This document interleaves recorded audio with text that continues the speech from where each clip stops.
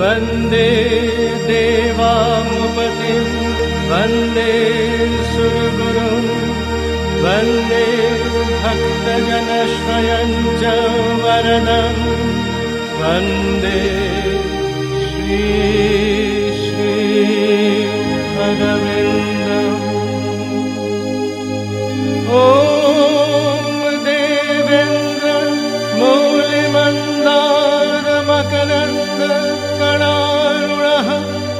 Take it up.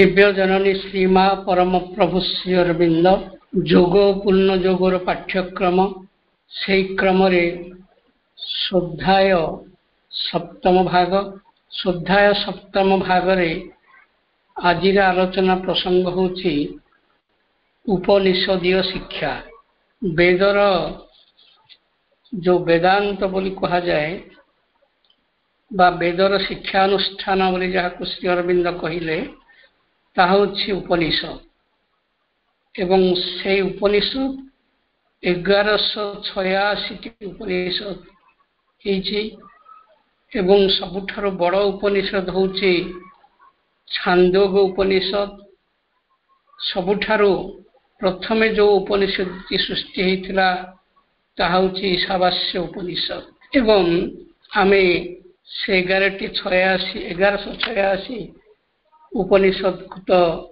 ଆଲୋଚନା କରିବାର ସମୟ ନାହିଁ।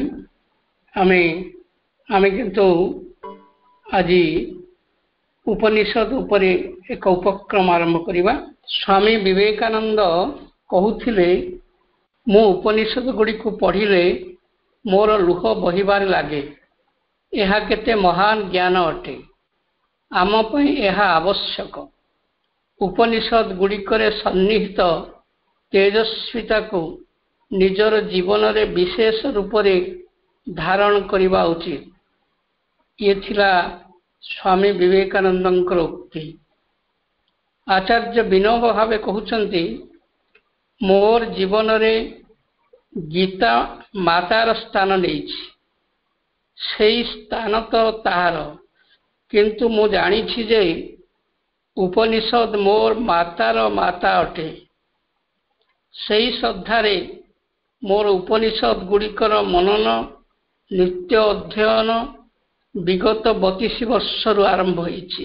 ଏ କଥା ନିଜେ ଶ୍ରୀମଦ୍ ଭାଗବତ ଗୀତା ତାର ଅଠର ଅଧ୍ୟାୟର ଶେଷ ଭାଗରେ ଗୀତା ନିଜେ ଗୀତାକୁ ପରିଚୟ ଦେବାକୁ ଯାଇ ସବୁବେଳେ ଅଠର ଅଧ୍ୟାୟ ଯାକରେ ଏଇ କଥା କହି କହିଛି ଯେ ଗୀତା ହେଉଛି ବ୍ରହ୍ମ ବିଦ୍ୟା ସୁଉପନିଷେଷୁ ଯୋଗଶାସ୍ତ୍ର କୃଷ୍ଣ ଅର୍ଜୁନ ସମ୍ବାଦ ଇତି ପ୍ରଥମ ଅଧ୍ୟାୟ ଦ୍ୱିତୀୟ ଅଧ୍ୟାୟରେ ସେ କୁହାଯାଇଛି ତୃତୀୟ ଅଧ୍ୟାୟରେ ସେ କୁହାଯାଇଛି ତା ଅର୍ଥ ଗୀତା ମୂଳତଃ ଏକ ସୁଉପନିଷଦୁ ତା ଅର୍ଥ ଉପନିଷଦରୁ ଗୀତା ସୃଷ୍ଟି ହେଇଛି।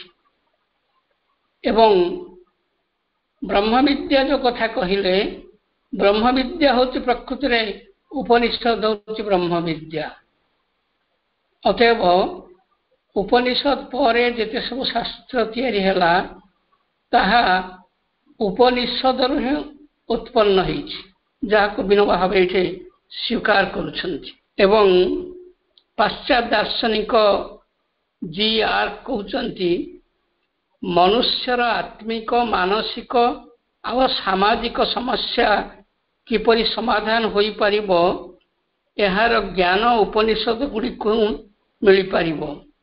ଏହି ଶିକ୍ଷା ଏତେ ସତ୍ୟ ଶିବ ଆଉ ସୁନ୍ଦର ଯେ ଅନ୍ତରାତ୍ମାର ଗଭୀରତା ପର୍ଯ୍ୟନ୍ତ ତାହାର ପ୍ରବେଶ ହୋଇଥାଏ।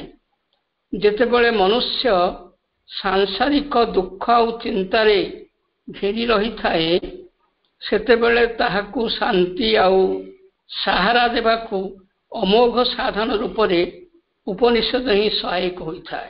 ଏବଂ ପ୍ରଫେସର ହ୍ୟୁମ୍ କହୁଛନ୍ତି ସୁକରାତ ଆରିଷ୍ଟଟଲ ଅଫ୍ଲାତୁନ ଆଦି କେତେକ ଦାର୍ଶନିକ ମାନଙ୍କ ଗ୍ରନ୍ଥ ମୁଁ ଧ୍ୟାନପୂର୍ବକ ପଢ଼ିଛି। କିନ୍ତୁ ଯେଉଁଭଳି ଶାନ୍ତିମୟୀ ଆତ୍ମବିଦ୍ୟା ମୁଁ ଉପନିଷଦ ଗୁଡ଼ିକରୁ ପାଇଥିଲି ସେଇଭଳି ଆଉ କେଉଁଠି ଦେଖିବାକୁ ମିଳିଲା ନାହିଁ ଏବଂ ଦାରା ଶିକୋହ ଯିଏକି ମୁସଲିମ ଶାସକ ଥିଲେ ଦାରା ଔରଙ୍ଗଜେବଙ୍କର ପୁତ୍ର ସିଏ ପ୍ରଥମେ ଉପନିଷଦ ଗୁଡ଼ିକୁ ବହୁତ କଷ୍ଟରେ ଖୋଜି ବାହାର କଲେ ଏବଂ ପାର୍ସୀ ଭାଷାରେ ଅନୁବାଦ କଲେ ତାଙ୍କର ଅନୁଭବକୁ ସେ କହୁଛନ୍ତି ମୁଁ କୁରାନ ତୌରେତ ଇଞ୍ଜିଲ ଜବୁର ଆଦି ଗ୍ରନ୍ଥ ପଢ଼ିଲି ଏସବୁ ମୁସଲିମ ଗ୍ରନ୍ଥ।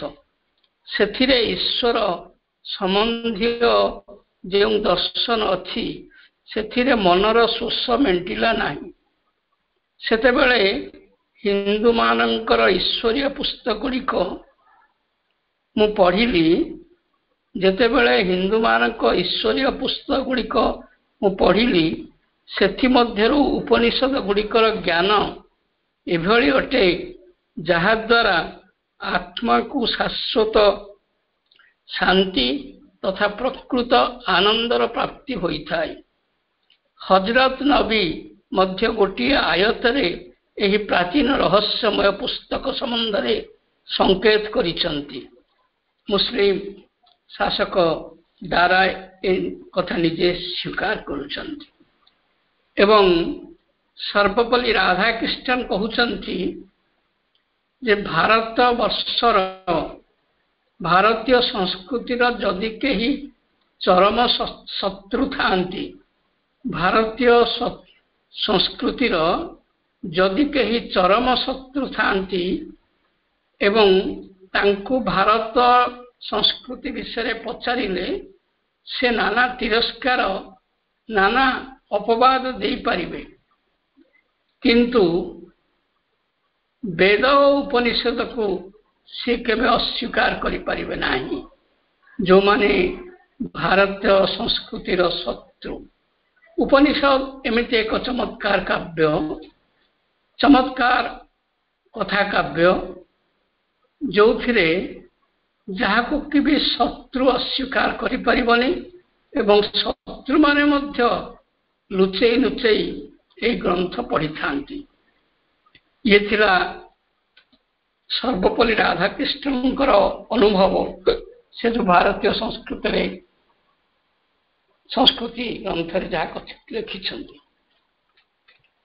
ଏବଂ ଶ୍ରୀ ଅରବିନ୍ଦ କହୁଛନ୍ତି ଯେ my philosophy was formed first by the study of Upanishad and Gita Shri Aurobindo କହୁଛନ୍ତି ମୋର ଦର୍ଶନ ସବୁ ଆରମ୍ଭ ହେଲା। ସେ ଯୋଗ ସମନ୍ୱୟର ଦର୍ଶନ ହଉ ବା ଲାଇଫ ଡିଭାଇନର ଦର୍ଶନ ହଉ ବା ମନ୍ତ୍ରମୟୀ ସାବିତ୍ରୀର ଦର୍ଶନ ହଉ। ଶ୍ରୀ ଅରବିନ୍ଦ କହୁଛନ୍ତି my philosophy was formed first by the study of Upanishad and Gita Gita Upanishad ପଢ଼ିଲା ପରେ ମୋର ଦର୍ଶନ ଉଦ୍ବେଗ ହେଲା। ଦ ବେଦ କେମ୍ ଲେଟର ତାପରେ ମୁଁ ବେଦ ଅଧ୍ୟୟନ କଲି। କିନ୍ତୁ ତା ପୂର୍ବରୁ ମୁଁ ଉପନିଷଦ ଗୀତା ପଢ଼ିଛି ଆମେ ଜାଣିଛେ ଯେ ଜେଲ ଭିତରେ ଶ୍ରୀ ଅରବିନ୍ଦ କହୁଛନ୍ତି ଶ୍ରୀକୃଷ୍ଣ ମୋ ହାତରେ ବେଦ ଧରେଇ ଦେଲେ। ଏବଂ ବୈଦିକ ସିଦ୍ଧି ସବୁ ଯେତେ ସବୁ ଗୀତାର ସିଦ୍ଧି ସବୁ ଜେଲ ଭିତରେ ତାଙ୍କୁ ପ୍ରାପ୍ତ ହେଇଥିଲା ବାସୁଦେବ କୃଷ୍ଣମିତି ଯେଉଁ ଗୀତାର ସର୍ବୋତ୍ତମ ସିଦ୍ଧି ଯେ ସକଳ ଘଟେ ନାରାୟଣଙ୍କୁ ଦେଖିବା ଏକଥା ତାଙ୍କ ଜେଲ ଭିତରେ ସୃଷ୍ଟି ହେଇଥିଲା ଏବଂ ସେ ଏଇ କଥା କହୁଛନ୍ତି ଯେ ମୋର ଦର୍ଶନର ଅୟମାରମ୍ଭ ଉପନିଷଦ ଗୀତାରୁ ଉଦ୍ରେକ ହେଇଥିଲା ବେଦ ତାପରେ ଆସିଥିଲା the the basis of my first practice of yoga ଏବଂ ଉପନିଷଦ ଗୁଡ଼ିକ ହେଲା ମୋର ଯୋଗ ଅଭ୍ୟାସର ପ୍ରଥମ ମୂଳ ଭିତ୍ତି I tried to realize what I read in my spiritual experience. ମୋର ଅଧ୍ୟୟନର ଯୋଉ କୌଶଳଟି ହେଲା ମୁଁ ଏମିତି ଅଧ୍ୟୟନ କରିବାକୁ ଚେଷ୍ଟା କରେ ଯେ I read in my spiritual experience ଯେ ମୋର ଆଧ୍ୟାତ୍ମିକ ଅଭିଜ୍ଞତାକୁ ନେଇ ମୁଁ ସବୁବେଳେ ଉପନିଷଦକୁ ଅଧ୍ୟୟନ କରେ ଆଣ୍ଡ ସକ୍ସିଡ୍ ଏଥିରେ ମଧ୍ୟ ମୁଁ କୃତକାର୍ଯ୍ୟ ହେଇଛି। In fact I was never satisfied till experience come and it was on this experience that later on I founded my philosophy. ଇଏ ସବୁଠୁ ଗୁରୁତ୍ୱପୂର୍ଣ୍ଣ କଥା ସବୁ ପାଠକ ମାନେ ପଢ଼ନ୍ତି କିନ୍ତୁ ଶ୍ରୀ ଅରବିନ୍ଦ ଏମିତି ଏକ ଅନନ୍ୟ ପାଠକ ସେ କହୁଛନ୍ତି ଯେ in fact I was never satisfied till experience କ ମୁଁ ପଢ଼ୁଥାଏ ପଢ଼ି ପଢ଼ି କେବେ ବି ସନ୍ତୋଷ ଲାଭ କରେନି ଯେତେବେଳେ ପର୍ଯ୍ୟନ୍ତ ଗ୍ରନ୍ଥରେ ଲିଖିତ ସତ୍ୟଗୁଡ଼ିକ ମୁଁ ଅନୁଭବ କରିନାହିଁ ବା ମୋର ଅନୁଭବକୁ ଆସିନାହିଁ। ସତ୍ୟରେ ଭାଇ ଭଉଣୀମାନେ ଶ୍ରୀ ଅରବିନ୍ଦ ଗୀତା ଉପନିଷଦ ବେଦ ପଢ଼ିଲା ସମୟରେ ସେତିକି ବେଳେ ହିଁ ତାଙ୍କ ସେ ଉପନିଷଦର ସିଦ୍ଧି ଗୀତାର ସିଦ୍ଧି ଏବଂ ବେଦର ଯେଉଁ ସତ୍ୟ ଗୁଡ଼ିକ ତାଙ୍କକୁ ଅନୁଭବ ଆକାରେ ତାଙ୍କ ପାଖରେ ପ୍ରକାଶିତ ହେଉଥିଲା। ଏବଂ ପ୍ରକାଶିତ ନହେଲା ପର୍ଯ୍ୟନ୍ତ ଅନୁଭବ ନ ଆସିଲା ପର୍ଯ୍ୟନ୍ତ ସେ ଅଧ୍ୟୟନକୁ ଛାଡ଼ୁନଥିଲେ it was on this experience later on I founded my philosophy ଏବଂ ସେଇ ଅନୁଭୂତିକୁ ଭିତ୍ତି କରି ମୁଁ ମୋର ଦର୍ଶନ ସବୁକ ସବୁକୁ ବିଧି ସ୍ଥାପନ କରିଛି ପ୍ରତିଷ୍ଠା କରିଛି। ନଟ୍ ଆନ୍ ଆଇଡ଼ିଆ ବାଇ ଦେମସଲ୍ ମୁଁ ଯାହା ପଢ଼େ ସେ ପଢ଼ାରୁ ଯେଉଁ ଭାବନା ଆସେ ବା ଯେଉଁ ଆଇଡ଼ିଆ ଆସେ ସେ ଆଇଡ଼ିଆ ଆଇଡ଼ିଆକୁ ନେଇ ମୁଁ ଫିଲୋସଫିକି ମୋର ଦର୍ଶନକୁ ମୁଁ ପ୍ରତିଷ୍ଠା କରିନାହିଁ ମୁଁ ଯେଉଁ ଅନୁଭବ ପାଇଛି ଯେଉଁ ଉପଲବ୍ଧି ପାଇଛି ଶାସ୍ତ୍ରରୁ ତାକୁ ନେଇକି ମୁଁ ମୋର ଫିଲୋସଫି ବା ମୋ ଦର୍ଶନକୁ ପ୍ରତିଷ୍ଠା କରିଛି ଦର୍ଶନକୁ ଆରମ୍ଭ କରିଛି। ଏବଂ ଯେଉଁମାନେ ଶ୍ରୀ ଅରବିନ୍ଦଙ୍କର ଲାଇଫ୍ ଡିଭାଇନ୍ ବହିଟି ତନ୍ନ କରି ପଢ଼ିଥିବେ ସେମାନେ ବୁଝିଥିବେ ଯେ ଗୋଟିଏ ଗୋଟିଏ ଅଧ୍ୟାୟରେ ଶ୍ରୀ ଅରବିନ୍ଦ ପ୍ରାୟ ପ୍ରାୟ ପ୍ରତିଟି ବାକ୍ୟରେ ବା ଅନେକ ଥର ସେ ଅଧ୍ୟାୟରେ ଉପନିଷଦର ଟର୍ମୋଲୋଜି ଏବଂ ଉପନିଷଦର ସିଦ୍ଧିଗୁଡ଼ିକ ସତ୍ୟଗୁଡ଼ିକ ବାରମ୍ବାର ତାଙ୍କ ଦର୍ଶନ ଭିତରକୁ ସେ ଆନିତ କରୁଛନ୍ତି। I would nothing, I owe nothing in my philosophy to in intellectual abstraction, rationalship and dialectic. ଯେ ମୁଁ କେବେ ମୋର ଦର୍ଶନକୁ ଗୋଟିଏ ବୌଦ୍ଧିକତାର ସାରମର୍ମ ବା ଗୋଟିଏ ତର୍କର ତର୍କଶାସ୍ତ୍ର ବା ଗୋଟିଏ ଡାଇଲଗ ବିଭିନ୍ନ ସଂଳାପକୁ ଏକତ୍ର କରି ମୁଁ କେବେ ମୋର ଦର୍ଶନକୁ ଲେଖି ନାହିଁ। ମୁଁ ମୋ ଦର୍ଶନକୁ ପ୍ରତିଷ୍ଠା କରିଛି। ଏଇ ଯୋଉ ବୈଦିକ ଏବଂ ଗୀତାର ଥିବା ସତ୍ୟକୁ ଅନୁଭବ କରି ଏବଂ ତାକୁ ଉପଲବ୍ଧି କରି ତାକୁ ସିଦ୍ଧି କରି ଦର୍ଶନକୁ ପ୍ରତିଷ୍ଠା କରିଛି। ଉପନିଷଦର ସହଜ ଅର୍ଥଟି ହେଉଛି ଯେ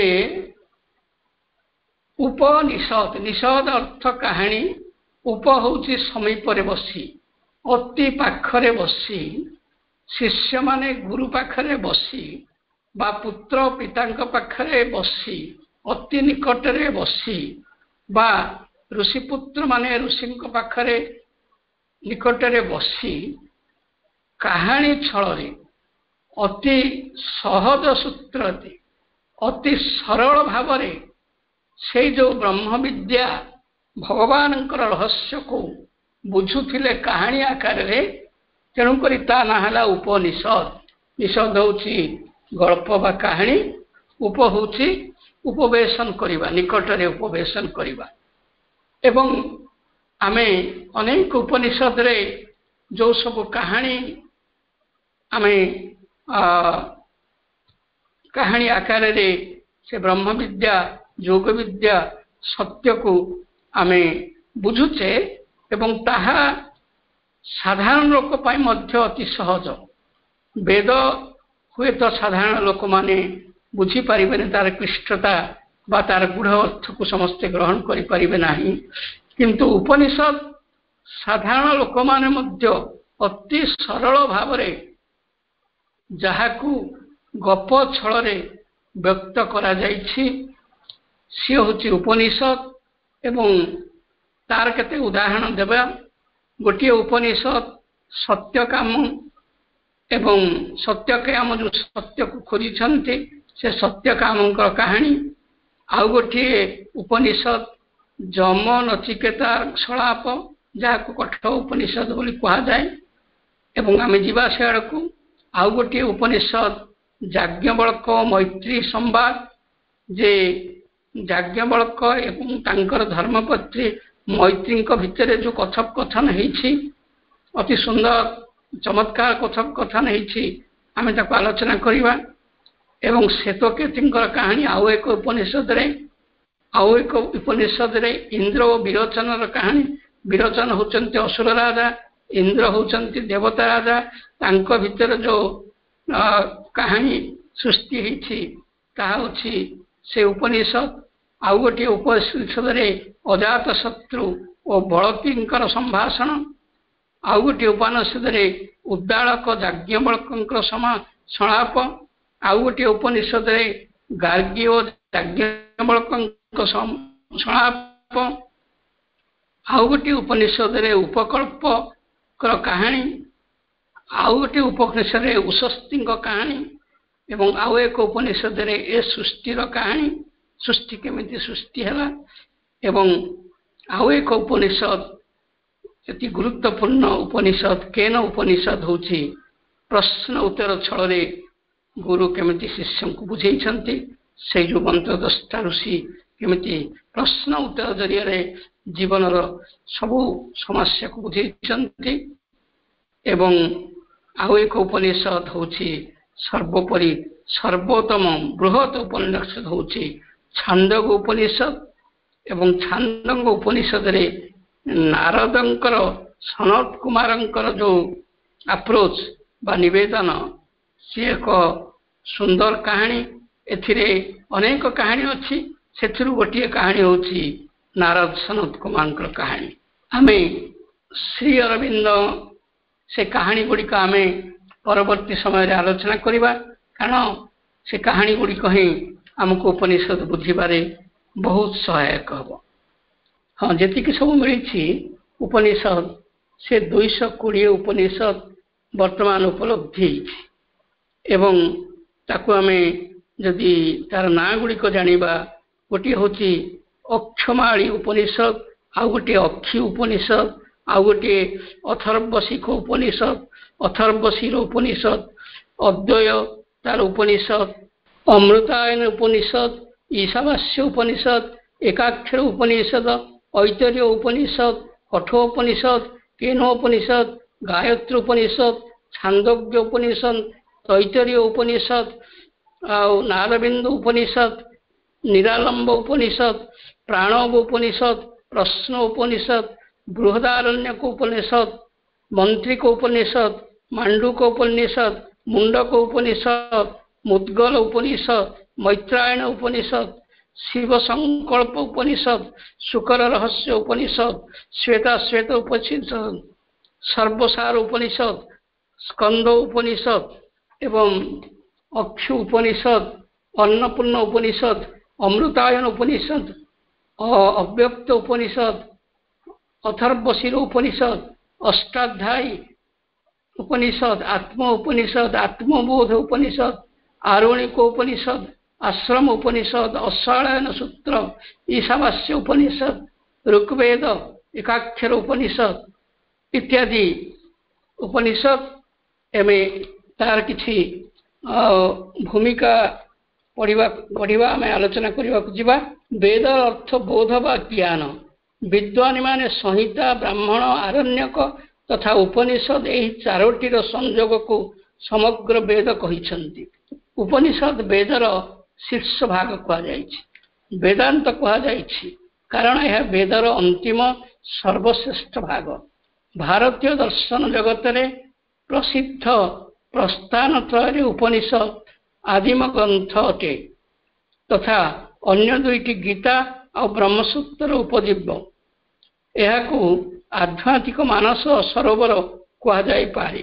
ଯେଉଁଠାରୁ ବିନିଶ୍ରୁତ ଜ୍ଞାନର ନଦୀ ଗୁଡ଼ିକ ଏହି ପୁଣ୍ୟ ଭୂମିରେ ମାନବ ମାତ୍ରର ଅଭ୍ୟୁଦୟ ବା ଭୌତିକ ଉନ୍ନତି ତଥା ନିଃଶ୍ରେୟସ ଆଧ୍ୟାତ୍ମିକ କଲ୍ୟାଣ ପାଇଁ ପ୍ରବହମାନ। ଉପନିଷଦର ଭାବ। ଏଥିରେ ଉପ ଆଉ ନି ଉପସର୍ଗ ଅଛି। ସଦ୍ଧାତୁ ଗତି ଅର୍ଥରେ ପ୍ରଯୁକ୍ତ ହୋଇଛି। ଗତି ଶବ୍ଦର ଉପଯୋଗ ଜ୍ଞାନ ଗମନ ଆଉ ପ୍ରାପ୍ତି ଏହି ତିନୋଟି ସନ୍ଦର୍ଭରେ ହୋଇଥାଏ। ଏଠାରେ ପ୍ରାପ୍ତି ଅର୍ଥ ଅଧିକ ଉପଯୁକ୍ତ। ଉପ ମାନେ ସମୀପେନ ଯାହା କୁହାଯାଇଛି ଉପ ସମୀପେନ ନି ନିତରାଂ ପରମ ବ୍ରହ୍ମଂ ଜୟା ବିଦ୍ୟାୟ ସା ଉପନିଷଦ ଉପସମୀପେନ ନିତରାଂ ପ୍ରାପ୍ନୁବନ୍ତି ପରମ ବ୍ରହ୍ମ ଜୟା ବିଦ୍ୟାୟ ସା ଉପନିଷଦ ଅର୍ଥାତ୍ ଯେଉଁ ବିଦ୍ୟା ଦ୍ୱାରା ପରମ ବ୍ରହ୍ମଙ୍କର ସାମୀପ୍ୟ ଓ ତଦାତ୍ମ ପ୍ରାପ୍ତ ହୋଇଥାଏ ତାହା ହିଁ ଉପନିଷଦ ଦ୍ୱିତୀୟ ଶବ୍ଦରେ ଉପଯୁକ୍ତ ନି ଏହି ଦୁଇ ଉପସର୍ଗ ସହିତ ସଦ୍ଧାତୁରେ କି ପ୍ରତ୍ୟୟର ପ୍ରୟୋଗରୁ ଉପନିଷଦ ଶବ୍ଦ ସୃଷ୍ଟି ହେଇଛି ସଦ୍ଧାତୁର ତିନୋଟି ଅର୍ଥ ମାନ୍ୟ ଅଟେ ବିସରଣ ବିନାଶ ଗତି ଜ୍ଞାନପ୍ରାପ୍ତ ଅବସାଦନ ଶିଥିଳ କରିବା।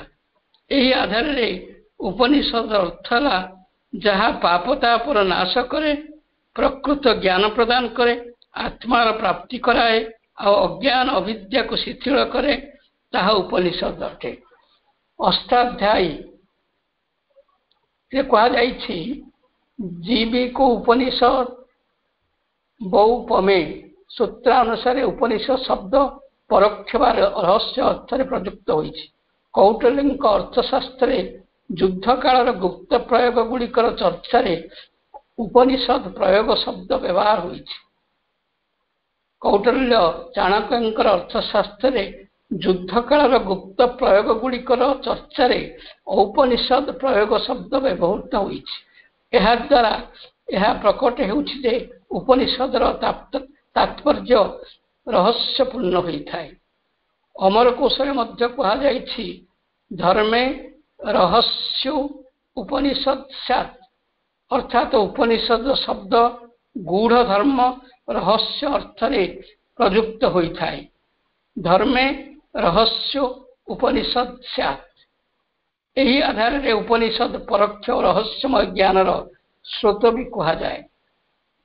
ବିଦ୍ୱାନ ମାନେ ଉପନିଷଦ ଶବ୍ଦର ବିତ୍ପତ୍ତି ଏହିପରି ବି ମନେ କରନ୍ତି। ଉପ ସାମୀପ ବା ବ୍ୟବଧାନ ରହିତ ନି ବିଶିଷ୍ଟ ବା ସମ୍ପୂର୍ଣ୍ଣ ସତ୍ ଜ୍ଞାନ ବା ବୋଧ ଅର୍ଥାତ ସାମୀପ୍ୟ ଦ୍ୱାରା ପ୍ରାପ୍ତ ବିଶିଷ୍ଟ ବୋଧ ଅଥବା ବ୍ୟବଧାନ ରହିତ ସମ୍ପୂର୍ଣ୍ଣ ଜ୍ଞାନ ହେଉଛି ଉପନିଷଦ।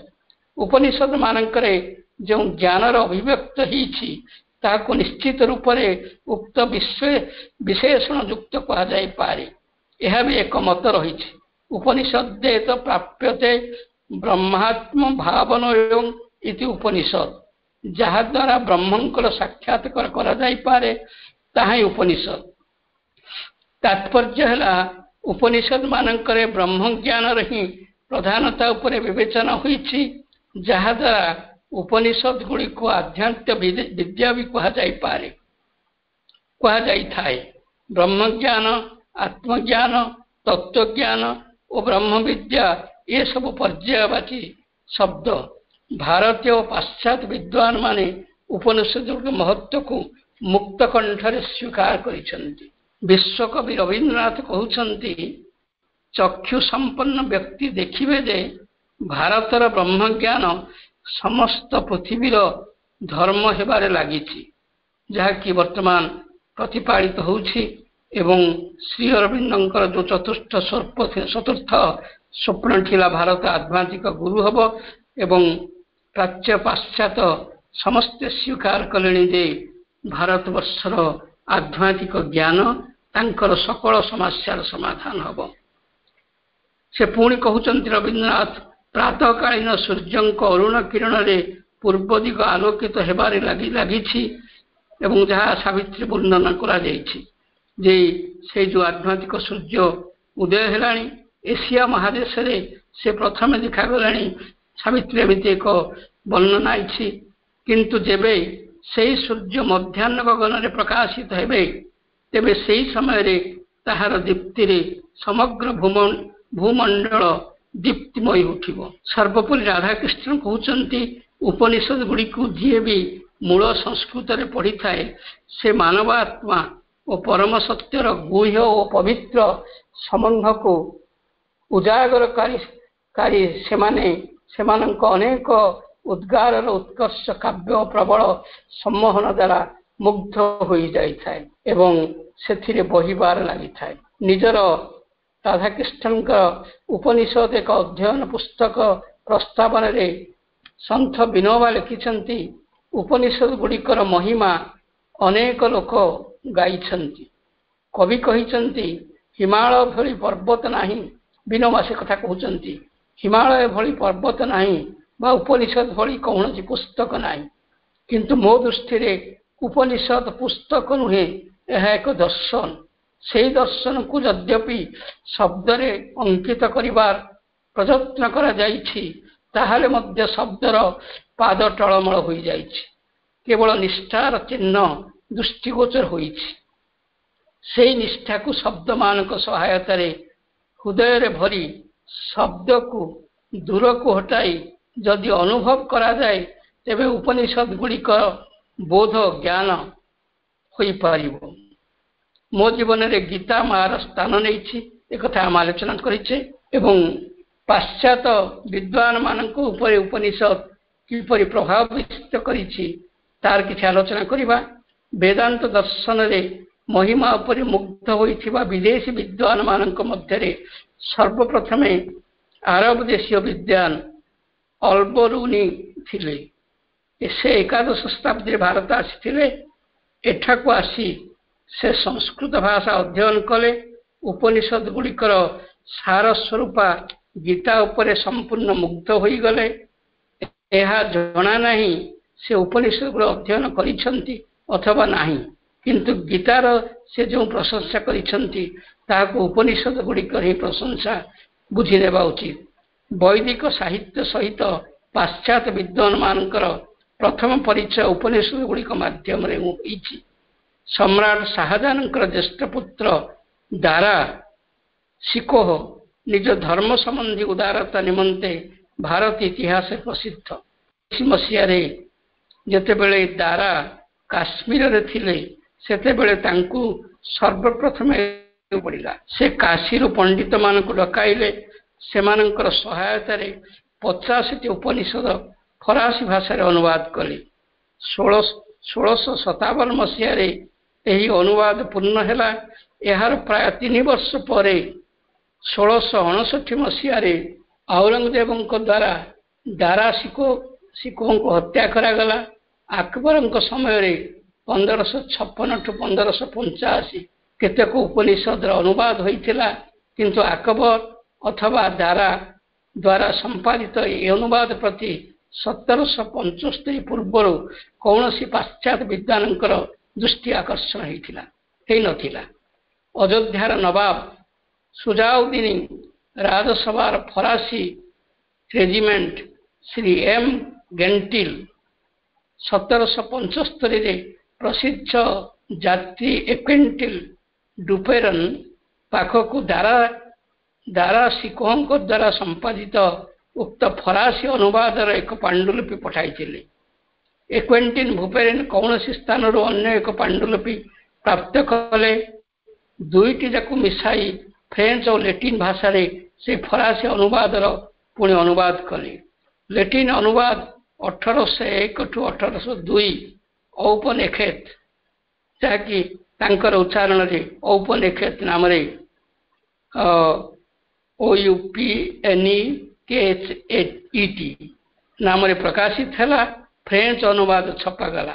ଅଠରଶହ ଏକ ମସିହାରୁ ଇଂରେଜ ଲାଟିନ୍ ଇଂରେଜ ଭାଷା ଏବଂ ଫ୍ରେଞ୍ଚ ଭାଷାରେ ଉପନିଷଦ ଅନୁଦିତ ହେଇଛି। ଉକ୍ତ ଲାଟିନ୍ ଅନୁବାଦ ପ୍ରକାଶିତ ହେବା ପରେ ପାଶ୍ଚାତ୍ୟ ପଣ୍ଡିତମାନଙ୍କ ଦୃଷ୍ଟି ଏ ଦିଗରେ କିଛି ଆକର୍ଷିତ ହେଲା କିନ୍ତୁ ଅନୁବାଦର ଅନୁବାଦ ହୋଇଥିବା କାରଣରୁ ତାହା ଏତେ ଅସ୍ପଷ୍ଟ ଓ ଦୁର୍ବୋଧ ହୋଇଗଲା ଅନୁବାଦରୁ ଅନୁବାଦ ହେଇଛି ଏବଂ ଦାରା ତାଙ୍କୁ ଫରାସୀ ଭାଷାରେ ଅନୁବାଦ କରିଥିଲେ ଏବଂ ପାଶ୍ଚାତ୍ୟ ଦାର୍ଶନିକମାନେ ତାକୁ ଲେଟିନ୍ ଆଉ ଇଂରେଜୀ ଭାଷାରେ ଅନୁବାଦ କଲେ ସେଥିରୁ ପୁଣି ଫ୍ରେଞ୍ଚ ଭାଷାରେ ଅନୁବାଦ ହେଲା ତେବେ ସେ ଅନୁବାଦର ମୂଳ ସତ୍ୟ କେତେ ବିକୃତ ହେଇନଥିବ ଆମକୁ ବୁଝିବାକୁ ପଡ଼ିବ।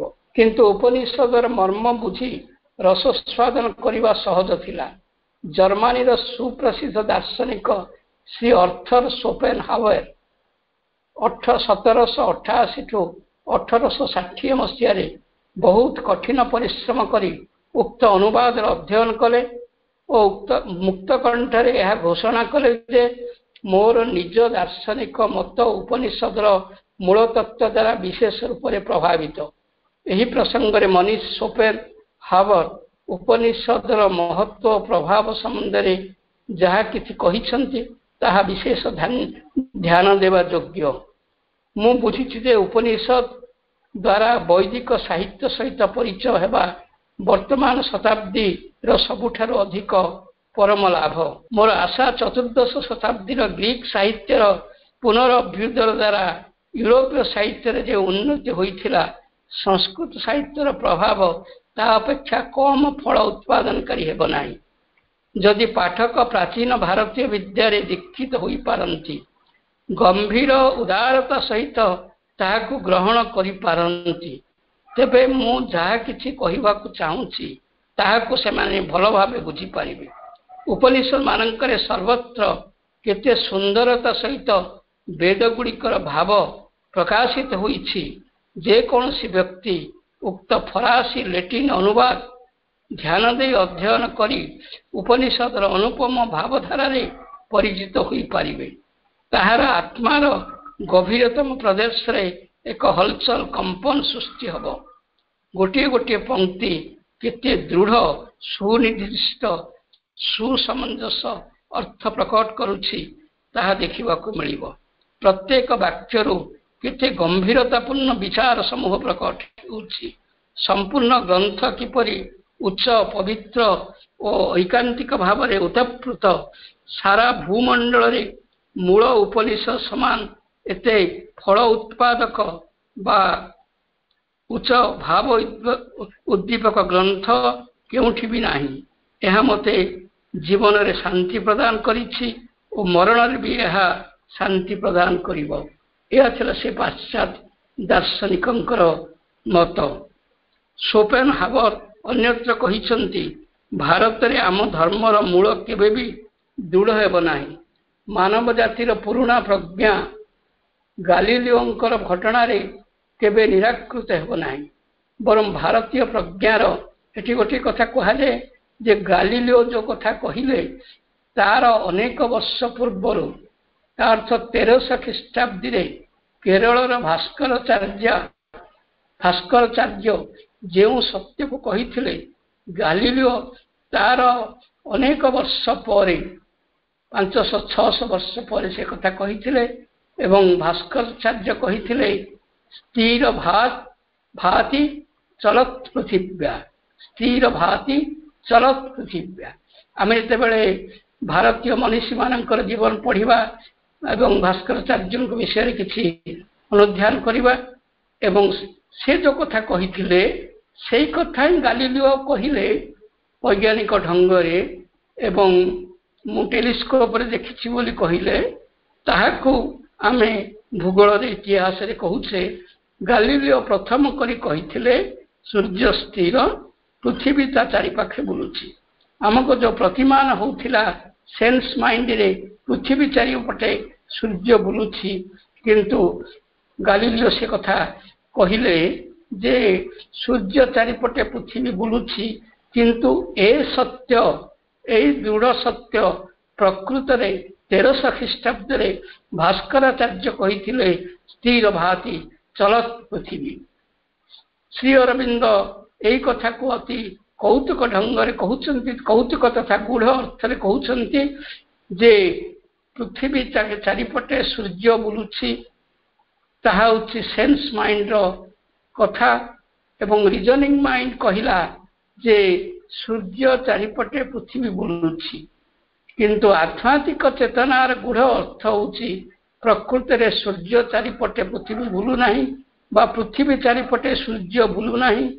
ଏକମାତ୍ର ଚେତନା ଯେ ସୂର୍ଯ୍ୟକୁ ପୃଥିବୀକୁ ସମଗ୍ର ଗ୍ରହ ନକ୍ଷତ୍ରକୁ ତାର କକ୍ଷପଥରେ ଅକ୍ଷପଥରେ ଘୁରେଇ ଦଉଛି ଯାହାକୁ ତନ୍ତ୍ରଶାସ୍ତ୍ରରେ କୁହାଯାଇଥିଲା ଜନେଜନ ଭ୍ରାମ୍ୟତେ ବିଶ୍ଵା ଯିଏକି ସମଗ୍ର ଯୋଉ ଶକ୍ତି ଯୋଉ ଚେତନା ସମଗ୍ର ବିଶ୍ୱକୁ ଭ୍ରାମ୍ୟତେ ଯିଏ ଘୁରଉଛି ପ୍ରକୃତରେ ସେ ରହସ୍ୟକୁ ଗାଲିଲୋ ବା କେମିତି ବୁଝିଥାନ୍ତି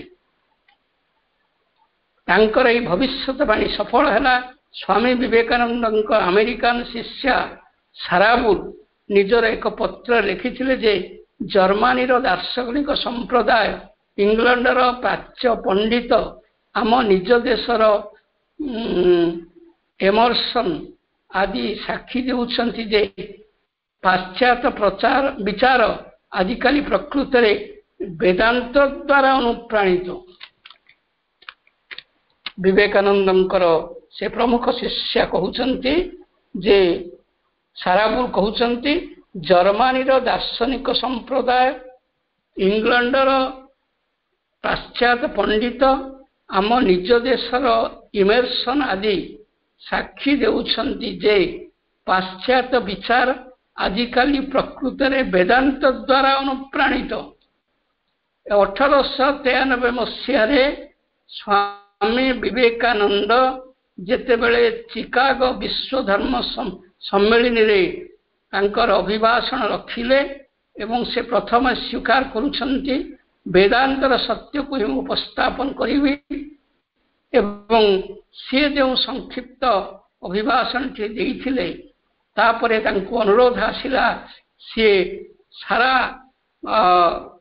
ସଭାର ପ୍ରତି ସେସନରେ ତାଙ୍କର ଆଧ୍ୟାତ୍ମିକ ବକ୍ତବ୍ୟ ଦେବେ ଏବଂ ଅଠରଶହ ତେୟାନବେ ଅଠର ସେପ୍ଟେମ୍ବରର ପରଦିନ ଉଣେଇଶ ସେପ୍ଟେମ୍ବର ମସିହାରେ New York Times of New York Swami ବିବେକାନନ୍ଦଙ୍କ ବିଷୟରେ ପ୍ରଥମ ପୃଷ୍ଠରେ ଏକ ତାଙ୍କ ନ୍ୟୁୟର୍କ ଟାଇମ୍ର ଗୋଟେ ସ୍ୱତନ୍ତ୍ର ସପ୍ଲିମେଣ୍ଟ ପ୍ରକାଶ କରି ତାର ପ୍ରଥମ ପୃଷ୍ଠାରେ ଉଲ୍ଲେଖ କଲେ ଯେ there is no doubt vivekananda and vivekananda is the leader of world religious parliament ତାପରେ ଅତି ସାଂଘାତିକ କଥା ସେ କହିଛନ୍ତି after hearing vivekananda how foolish we are sending missionary to india ବିବେକାନନ୍ଦଙ୍କୁ ଶୁଣିଲା ପରେ ଭାରତ ବର୍ଷର ଲୋକମାନଙ୍କୁ ଶିକ୍ଷା ଦେବା ପାଇଁ ଆମେ ଯେଉଁ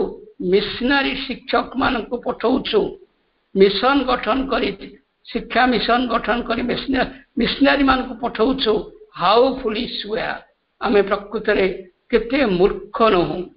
ଏବଂ ବିବେକାନନ୍ଦ ଯାହା କିଛି କହିଥିଲେ ଆମେରିକାରେ ତାହା ଥିଲା ସେ ଉପନିଷଦ ପ୍ରସୂତ ସତ୍ୟ ବା ବେଦାନ୍ତ ପ୍ରସୂତ ଜ୍ଞାନ ଏହା ସେ ବାରମ୍ବାର ଉଚ୍ଚାରଣ କରିଛନ୍ତି। ସୋପେନ ହାବରଙ୍କ ମେଜ ଉପରେ ଉପନିଷଦ ଗୁଡ଼ିକର ଏକ ଲେଟିନ୍ ପ୍ରତି ବା ଏକ ଲେଟିନ୍ ଇଏ ଅନୁବାଦ ସବୁବେଳେ ରହୁଥିଲା ଏବଂ ସେ ଶୋଇବା ପୂର୍ବରୁ ସେଥିମଧ୍ୟରୁ ହିଁ ନିଜର ପ୍ରାର୍ଥନା କରୁଥିଲେ। ସୋପନ ହାବର ଉପନିଷଦ ଗୁଡ଼ିକ ସମ୍ବନ୍ଧରେ ଲେଖିଛନ୍ତି। ଉପନିଷଦ ଗୁଡ଼ିକର ପ୍ରତ୍ୟେକ ବାକ୍ୟ ମଧ୍ୟରୁ ଗହନ ମୌଳିକ ଓ ଉଦାତ ବିଚାର ସୃଷ୍ଟି ହେଇଥାଏ।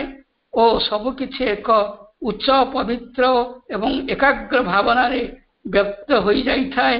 ସମସ୍ତ ସଂସାର ମଧ୍ୟରେ ଉପନିଷଦ ଭଳି କଲ୍ୟାଣକାରୀ ଓ ଆତ୍ମାକୁ ଉନ୍ନତ କରିବା ଗ୍ରନ୍ଥ ଅନ୍ୟ କୌଣସି ଗ୍ରନ୍ଥ ନାହିଁ। ଏହା ସର୍ବୋଚ୍ଚ ପ୍ରତିଭାର ପ୍ରସୂନ। ବିଳମ୍ବରେ ହେଉ ଏହା ଲୋକମାନଙ୍କର ଆସ୍ଥାର ଆଧାର ହୋଇ ରହିବ।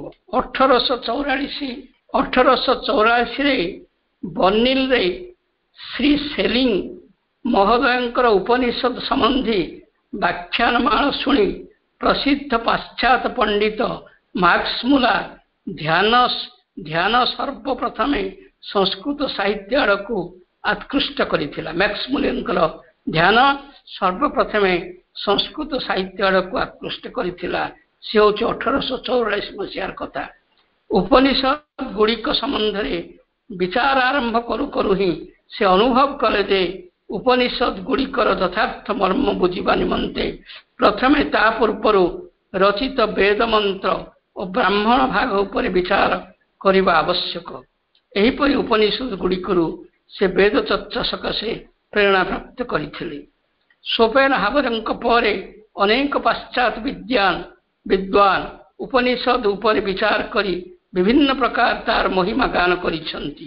କେହି କେହି ତ ଉପନିଷଦକୁ ମାନବ ଚେତନାର ସର୍ବୋଚ୍ଚ ଫଳ କହିଛନ୍ତି।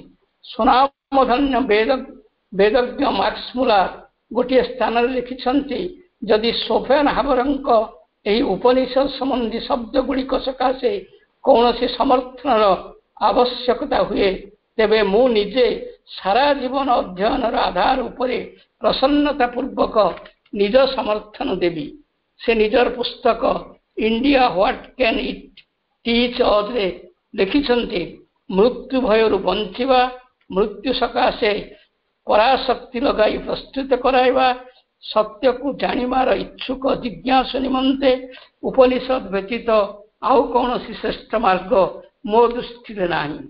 ଉପନିଷଦ ଗୁଡ଼ିକର ଜ୍ଞାନରୁ ମୋତେ ନିଜ ଜୀବନର ଉତ୍କର୍ଷରେ ଭାରି ସହାୟତା ମିଳିଛି। ମୁଁ ତା ନିକଟରେ ଋଣୀ। ଏହି ଉପନିଷଦ ଗୁଡ଼ିକ ଆତ୍ମିକ ଉନ୍ନତି ସକାଶେ ବିଶ୍ୱର ଧାର୍ମିକ ସାହିତ୍ୟରେ ଅତ୍ୟନ୍ତ ସମ୍ମାନସ୍ପଦ ହେଉଛି ଓ ଆଗକୁ ସଦାସର୍ବଦା ରହିବ। ଏହି ଜ୍ଞାନ ମହାନ ମନୀଷୀଙ୍କ ମହାନ ପ୍ରଜ୍ଞାର ପରିଣାମ। ଦିନେ ନା ଦିନେ ଭାରତର ଏହି ଶ୍ରେଷ୍ଠ ବିଦ୍ୟା ୟୁରୋପରେ ପ୍ରକାଶିତ ହେବ ଓ ସେତେବେଳେ ଆମର ଜ୍ଞାନ ଓ ବିଚାରରେ ମହାନ ପରିବର୍ତ୍ତନ ଉପସ୍ଥିତ ହେବ। ଡଗମାସ ଅଫ୍ ବୁଦ୍ଧିଜିମ୍ ନାମକ ଗ୍ରନ୍ଥର ଲେଖକ ପ୍ରଫେସର ହ୍ୟୁମ୍ ଲେଖିଛନ୍ତି ସୁକରାତ ଅରସ୍ତୁ ଅଫଲାନି ଆଦି କେତେକ ଦାର୍ଶନିକମାନଙ୍କ ଗ୍ରନ୍ଥ ମୁଁ ଧ୍ୟାନପୂର୍ବକ ପଢ଼ିଛି କିନ୍ତୁ ଯେପରି ଶାନ୍ତିମୟ ଆତ୍ମବିଦ୍ୟା ମୁଁ ଉପନିଷଦ ଗୁଡ଼ିକରେ ପାଇଛି ସେପରି ଅନ୍ୟ କୌଣସି ସ୍ଥାନରେ ଦେଖିବାକୁ ମିଳେ ନାହିଁ। ଇଜ୍ ଗଡ୍ ନୋଏବୁଲ ନାମକ ଗ୍ରନ୍ଥରେ ତାହାର ରଚୟିତା ପ୍ରଫେସର ଆର୍କ ଲେଖିଛନ୍ତି ଆମେ ତାକୁ ଆଲୋଚନା କରିଛେ ଉପନିଷଦ ଦର୍ଶନ ଓ ମୌଳିକ ବେଦାନ୍ତର ବିଖ୍ୟାତ ବ୍ୟାଖ୍ୟାକାର ପଲ୍ ଡାୟସନ୍ ଅନୁସାରେ ବେଦାନ୍ତ ଅର୍ଥ ଉପନିଷଦ ଦର୍ଶନ ନିଜ ଅବିକୃତ ରୂପରେ ଶୁଦ୍ଧ ନୈତିକତାର ସଶକ୍ତତମ ଆଧାର ଜୀବନ ଓ ପୀଡ଼ାମାନଙ୍କ ମଧ୍ୟରେ ସବୁଠାରୁ ବଡ଼ ସାନ୍ତ୍ୱନା ଭାରତୀୟମାନେ ଏଥିରେ ନିଷ୍ଠା ରଖ। ଭାରତୀୟ ଆଚାର ବିଚାର ସାହିତ୍ୟ ସଂସ୍କୃତି ପ୍ରତି ଅଗାଧ ନିଷ୍ଠା ରଖିଥିବା ବିଦୁଷୀ ମହିଳା ଡକ୍ଟର ଏନି ବସନ୍ତ ଡକ୍ଟର ଆନି ବସନ୍ତ ଉପନିଷଦ ବିଦ୍ୟାର ପ୍ରଶଂସା କରି ଲେଖିଛନ୍ତି ଯେ ଭାରତର ଜ୍ଞାନ ମାନବ ଚେତନାର ସର୍ବୋଚ୍ଚ ଅବଦାନ। ଉପନିଷଦ ଜ୍ଞାନର ପ୍ରଚାର ପ୍ରସାରରେ ସଂସ୍କୃତ ବିଦ୍ୱାନ ବେବର ସାହେବଙ୍କ ନାମ ଉଲ୍ଲେଖନୀୟ। ସେ ଜର୍ମାନୀ ଭାଷାରେ ଏକ ପୁସ୍ତକର ଯାହାର ନାମ ଇଣ୍ଡିସେ ତାହାର ପ୍ରଥମ ଭାଗ ଅଠରଶହ ପଚାଶି ଇସ୍ୱିରେ ବର୍ଣ୍ଣିଂରୁ ପ୍ରକାଶିତ ହୋଇଥିଲା। ଏହି ଭାଗରେ ବେବର ମହୋଦୟ ଲେଖିଛନ୍ତି ଚଉଦ ଉପନିଷଦ ଶୁଦ୍ଧତା ସହ ସମ୍ପାଦନ କରି ପ୍ରକାଶ କରିଛନ୍ତି। ଏହାର ଦ୍ୱିତୀୟ ଭାଗ ବଲ୍ଲିରୁ ହିଁ ଅଠରଶହ ତେପନରେ ପ୍ରକାଶିତ ହେଲା। ସେଥିରେ ଚଉଦରୁ ଅଣଚାଳିଶ ସଂଖ୍ୟା ପର୍ଯ୍ୟନ୍ତ ଉପନିଷଦ ପ୍ରକାଶନ କରିଛନ୍ତି। ଉପନିଷଦ ଗୁଡ଼ିକ ପ୍ରାପ୍ତିର ସ୍ରୋତ ବିଷୟରେ ଗୋଟିଏ କଥା କୁହାଯାଇପାରେ ଯେ ସେଗୁଡ଼ିକର ଉଦ୍ଭବ ଋଷି ଦ୍ରଷ୍ଟମାନଙ୍କର ଅନୁଭୂତି ଜ୍ଞାନରୁ ହୋଇଛି। ଯେପରିକି ଉଲ୍ଲେଖ କରାଯାଇଛି ଉପନିଷଦ ଗୁଡ଼ିକୁ ବେଦର ବ୍ରାହ୍ମଣ ଆରଣ୍ୟକ ପ୍ରଭାଗର ଅନ୍ତର୍ଗତ ମନା କରାଯାଏ। କିଛି ଉପନିଷଦ ସଂହିତା ମନ୍ତ୍ରଭାଗ ବ୍ରାହ୍ମଣ ଆରଣ୍ୟକର ଅଙ୍ଗଭୂତ ଅଂଶୀଭୂତ ଅଟେ। ଯଦ୍ୟପି ଅଧିକାଂଶ ବୈଦିକ ଓ ଉତ୍ତର ବୈଦିକ କାଳର ଋଷିମାନଙ୍କ ପ୍ରତିଭୂ ଚକ୍ଷୁରେ ଦୃଷ୍ଟିଗୋଚର ଦୃଷ୍ଟିଗୋଚର ହେଇଛି ଯାହାର ସ୍ୱତନ୍ତ୍ର ଅସ୍ତିତ୍ୱ ରହିଛି। ଐତରୀ ଉପନିଷଦ ଋକବେଦର ଐତରୀୟ ଆରଣ୍ୟକର ଭାଗ ତୈତରୀୟ ଉପନିଷଦ କୃଷ୍ଣ ଯଜୁର୍ବେଦର ତୈତନୀୟ ଆରଣ୍ୟକର ଭାଗ। ଏହି ଆରଣ୍ୟକର ଅନ୍ତିମ ପାଠ ପାଠକ ନାରାୟଣ ଉପନିଷଦ ବୋଲାଇଥାଏ ଯାହା ଅଥର୍ବବେଦୀର ମହାନାରାୟଣ ଉପନିଷଦ ଠାରୁ ଭିନ୍ନ। ଶୁକ୍ଳ ଯଜୁର୍ବେଦୀୟ ଶତପଥ ବ୍ରାହ୍ମଣର ଅନ୍ତିମ କାଣ୍ଡର ଅନ୍ତିମ ଛଅ ଅଧ୍ୟାୟକୁ ବୃହଦାରଣ୍ୟକ ଉପନିଷଦ କୁହାଯାଇଛି। ବ୍ରାହ୍ମଣ ଗ୍ରନ୍ଥର ଏହି ଭାଗ ଆରଣ୍ୟକ ଉପନିଷଦ ମଧ୍ୟ ଏହିପରି ଈଶୋପନିଷଦ ବି ଯଜୁର୍ବେଦର ମଧ୍ୟ ମଧ୍ୟକାଳୀନ ଓ କାନ୍ୟ ସଂହିତା ଗୁଡ଼ିକର ଚାଳିଶତମ ଅଧ୍ୟାୟ ଅଟେ ସାମବେଦର କୌଥମୀ ଶାଖାର ତଲ୍ବକାର ବ୍ରାହ୍ମଣ ଗ୍ରନ୍ଥର ଅନ୍ତିମ ଭାଗକୁ ଛାନ୍ଦକୁ ଉପନିଷଦ କୁହାଯାଇଛି ଋଗ୍ବିଦର କୌଶତକୀ ବା ସାଂଖ୍ୟାୟନ ଆରଣ୍ୟକର ଅଧ୍ୟାୟକୁ କୌଶତକୀ ବ୍ରାହ୍ମଣ୍ୟ ଉପନିଷଦ କୁହାଯାଇଛି ମୁକ୍ତି ଉପନିଷଦରେ ଶହେ ଆଠ ଉପନିଷଦର ସୂଚି ରହିଛି।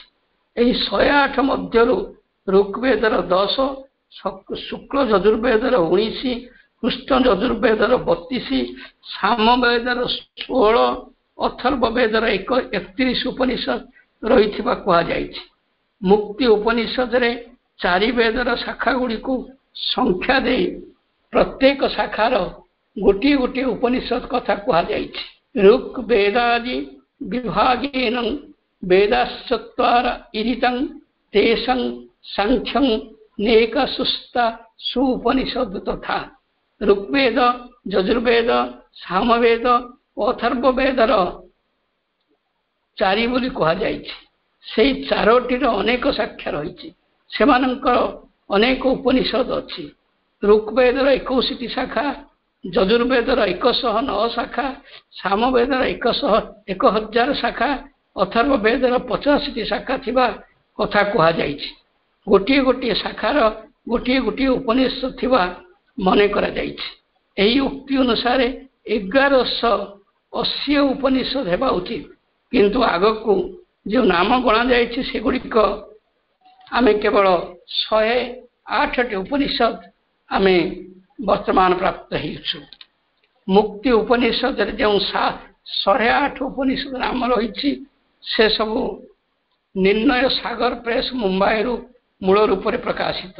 ଏହା ବ୍ୟତୀତ ଅଡଆୟାର ଲାଇବ୍ରେରୀ ମଦ୍ରାସର ମଧ୍ୟ ଉପନିଷଦ ଗୁଡ଼ିକର ସଂଗ୍ରହ ପ୍ରକାଶିତ ହୋଇଛି। ଯେଉଁଥିରେ ପ୍ରାୟ ଶହେ ଅଣାଅଶୀଟି ଉପନିଷଦ ପ୍ରକାଶ ରହିଛି।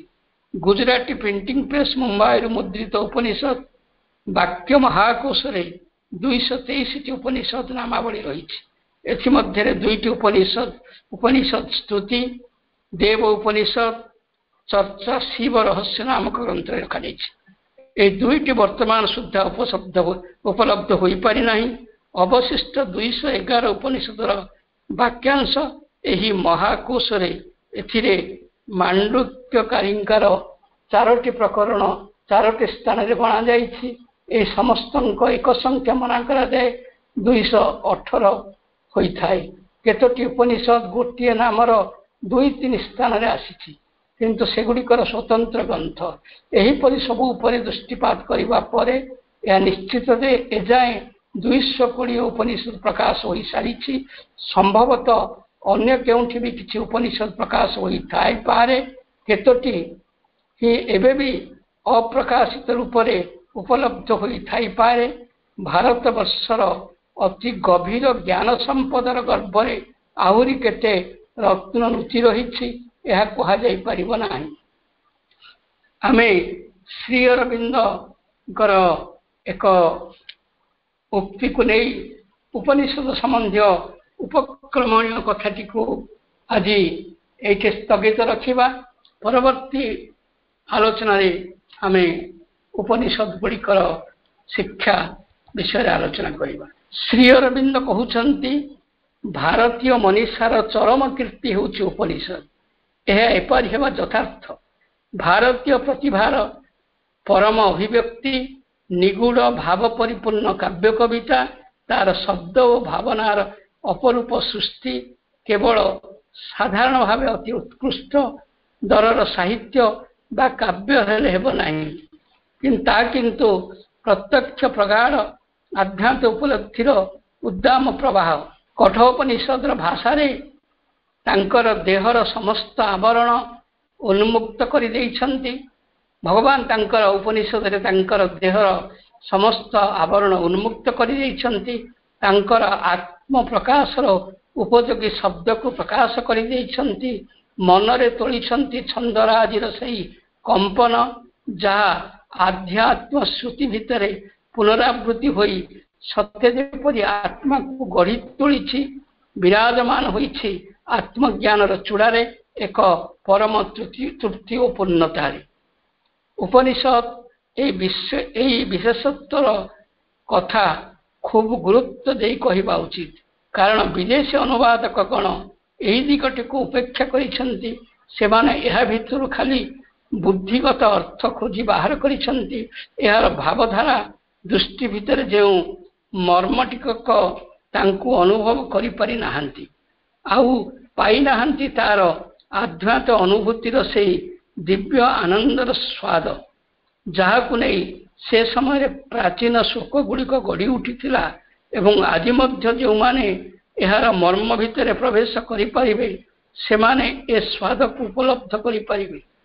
ଏ ସମସ୍ତ ପ୍ରାଚୀନ ଶ୍ଲୋକ ଭିତରେ ଦେଇ କେବଳ ବୁଦ୍ଧି ନିକଟରେ ନୁହେଁ କିନ୍ତୁ ଆତ୍ମା ଏବଂ ସମଗ୍ର ସତ୍ତା ନିକଟରେ ଯାହା ଏକ ଦିବ୍ୟ ପ୍ରକାଶକୁ ଖୋଲିଦିଏ ଏବଂ ଯେଉଁଥିପାଇଁ ଉପନିଷଦକୁ ପ୍ରାଚୀନ ଶବ୍ଦ ଭିତରେ ସତ୍ୟର ପ୍ରକାଶକୁ ବୌଦ୍ଧିକ ଭାବ ଦ୍ୱାରା ବାକ୍ୟ ବିନ୍ୟାସ ଉକ୍ତି ବୋଲି କୁହାଯାଇନି କିନ୍ତୁ କୁହାଯାଇଛି ଶ୍ରୁତି ଚିନ୍ମୟ ଶ୍ରବଣର ଶ୍ରୁତ ବସ୍ତୁ। ଏକ ବୋଧିଯୁକ୍ତ ଶାସ୍ତ୍ର। ଉପନିଷଦ ଭିତରେ ଯେଉଁ ଦାର୍ଶନିକ ତତ୍ତ୍ୱ ବିଷୟ ରହିଛି ତାହାର ମୂଲ୍ୟର ଉପଲବ୍ଧି ମୂଲ୍ୟର ଉପଲବ୍ଧି ବା ପ୍ରଶଂସା ପାଇଁ ଏଠି ଅଧିକ ଆଲୋଚନା କରିବା ଦରକାର ନାହିଁ। ଏପରିକି ତାକୁ ଯଦି ପୃଥିବୀର ଶ୍ରେଷ୍ଠ ମନୀଷୀମାନେ ପ୍ରଭୂତ ଭାବରେ ସ୍ୱୀକାର ନ କରନ୍ତି ତାହେଲେ ଦର୍ଶନ ଶାସ୍ତ୍ର ସମୁଦାୟ ଇତିହାସ ତାର ପ୍ରମାଣ ଦେବ। ଉପନିଷଦ ଭାରତ ବର୍ଷର ଅନେକ ଗଭୀର ଦର୍ଶନ ଧର୍ମର ଉତ୍ସ ଏହା ହିଁ ଯୁଗେ ଯୁଗେ ସ୍ୱୀକୃତ ହୋଇ ଆସିଛି। ହିମଗିରି କୋଳରୁ ନିଶ୍ଚିତ ମହାମହାସ୍ରୋତସ୍ୱିନୀ ପରି ଏହି ସମସ୍ତ ଦର୍ଶନ ଓ ଧର୍ମ ଶତ ଶତ ବର୍ଷ ବ୍ୟାପୀ ଭାରତ ଭୂଇଁରେ ପ୍ରବାହିତ ହୋଇଛି। ତାର ଅଧିବାସୀଙ୍କର ମନ ଓ ପ୍ରାଣକୁ ଉର୍ବର କରି ତାର ଜୀବନ୍ତ ଆତ୍ମାକୁ ସଜୀବ ରଖି ସେ ଦିବ୍ୟ ଆଲୋକ ପାଇଁ ବରାବର ସେମାନେ ଫେରି ଯାଇଛନ୍ତି ସଞ୍ଜୀବନୀ ଧାରାର ଏହି ଅବିଶ୍ରାନ୍ତ ଉଚ୍ଚ ଅଭିମୁଖରେ ଏବଂ ଉପନିଷଦ ମଧ୍ୟ ସେମାନଙ୍କୁ ନୂତନ ଆଲୋକ ଦେଇ ଦୀପ୍ତିମନ୍ତ କରିବାରେ କେବେ ହେଲେ ବ୍ୟର୍ଥ ହୋଇନାହିଁ। ବୌଦ୍ଧ ଧର୍ମର ସମଗ୍ର ବିକାଶ କେବଳ ଉପନିଷଦର ଏକ ଅଂଶର ପୁନରାବୃତ୍ତି ମାତ୍ର ଯଦିଓ ତାହା ଦେଖାଯାଇଛି ଏକ ନୂତନ ଦୃଷ୍ଟିକୋଣ ନେଇ ମାନସ ଏବଂ ମାନସ ସଂଜ୍ଞା ଓ ତର୍କ ବିଚାରର ମୂଳ ସତ୍ତାର ନୂତନ ଶବ୍ଦ ଓ ଭାବ ବ୍ୟବହାର କରି। କେବଳ ଏକ ନୂତନ ପରିବର୍ତ୍ତିତ ରୂପରେ ସମଗ୍ର ଏସିଆରେ ଓ ପଶ୍ଚିମରୁ ୟୁରୋପରେ ଅଭିମୁଖରେ ତାହା ପ୍ରବାହିତ ହୋଇଛି ପ୍ରଚାରିତ ହୋଇଛି। ପିଥାଗୋରାସ ଓ ପ୍ଲାଟୋଙ୍କର ଭାବଧାରା ଓ ଦର୍ଶନ ଭିତରେ ନିଓପ୍ଲେଟାନିଜିମ୍ ତୃତୀୟ ଶତାବ୍ଦୀରେ ପ୍ରାଚ୍ୟର ଯୋଗ ତତ୍ତ୍ୱ ସହିତ ମିଶିଥିବା ପ୍ଲାଟୋଙ୍କର ମତବାଦ ଓ ଖ୍ରୀଷ୍ଟୀୟ ଗୂଢ଼ତତ୍ତ୍ୱବିଦା ଗୂଢ଼ତତ୍ତ୍ୱ ବିଦ୍ୟା ନସ୍ତିସିଜିମ୍ର ଗଭୀରତମ ଅଂଶରେ ଏବଂ ସେଗୁଡ଼ିକ ଦ୍ୱାରା ଅନେକ ପରିମାଣରେ ପ୍ରଭାବିତ ପାଶ୍ଚାତ୍ୟର ସମସ୍ତ ଦର୍ଶନ ଓ ଚିନ୍ତାଧାରା ଭିତରେ ଉପନିଷଦର ଅନେକ ଚିନ୍ତାଧାରାର ପୁନରାବିଷ୍କାର କରାଯାଇପାରେ ଏବଂ ଅନ୍ୟ ଏକ ଭାଷାରେ ସୁଫିମାନଙ୍କର ମତବାଦ ଉପନିଷଦର ପୁନରାବୃତ୍ତି ମାତ୍ର ଜର୍ମାନ ତତ୍ତ୍ୱବିଦ୍ୟାର ଅଧିକାଂଶ ଉପନିଷଦର ସାର୍ଥକ ସାର କଥା ଗୁଡ଼ିକ ହିଁ ବୌଦ୍ଧିକ ଜ୍ଞାନରେ ପ୍ରକାଶ କରିବା ବ୍ୟତୀତ ଅଧିକ କିଛି ନୁହେଁ। ଯଦିଓ ଏହି ପ୍ରାଚୀନ ଶିକ୍ଷାରେ ସେହି ମହାନ ସତ୍ୟ ସବୁ ଅଧିକ ଆଧ୍ୟାତ୍ମିକ ଭାବେ ଅନୁଭୂତ ହୋଇଛି ଏବଂ ଆଧୁନିକ ଭାବଧାରା ଏସବୁକୁ ଆହୁରି ଅନ୍ତରଙ୍ଗ ଓ ସଜୀବ ଭାବରେ ଦ୍ରୁତ ଭାବରେ ଗ୍ରହଣ କରି ନେଇଛି ଯାହାଦ୍ୱାରା କି ଦାର୍ଶନିକ ଚିନ୍ତାଧାରା ଏବଂ ଧର୍ମ ଧାରଣା କ୍ଷେତ୍ରରେ ଏକ ବିପ୍ଳବ ଆଶା କରାଯାଇପାରେ। କେଉଁଠି କେଉଁଠି ଏ ସମସ୍ତ ପ୍ରଭାବ ପରୋକ୍ଷ ଭାବେ କେଉଁଠି ବା ପ୍ରତ୍ୟକ୍ଷ ଭାବେ ଆସି ଦେଖାଦେଇଛି ଏକ ଉନ୍ମୁକ୍ତ ପଥ ଦେଇ। ଏମିତି କିଛି ଦାର୍ଶନିକ ଚିନ୍ତାଧାରା ନାହିଁ ଏମିତି କିଛି ଦାର୍ଶନିକ ଚିନ୍ତାଧାରା ନାହିଁ ଯାହାକି ଏ ପ୍ରାଚୀନ ରଚନା ଉପନିଷଦ ଭିତରେ ତାର ନିଜର ବକ୍ତବ୍ୟ ବିଷୟରେ ଏକ ପ୍ରାମାଣିକତା ଏକ ବୀଜ କିମ୍ବା ଗୋଟିଏ ସଂକେତ ଖୋଜି ପାଇନାହିଁ। ଏ ପ୍ରସଙ୍ଗ ଏଇଠି ସ୍ଥଗିତ ରଖିବା ପରବର୍ତ୍ତୀ ଆଲୋଚନାରେ ଆମେ ଉପନିଷଦର ଅନ୍ୟାନ୍ୟ ଦିଗ ଦିଗନ୍ତକୁ ଆଲୋଚନା କରିବା ସମସ୍ତଙ୍କୁ ଧନ୍ୟବାଦ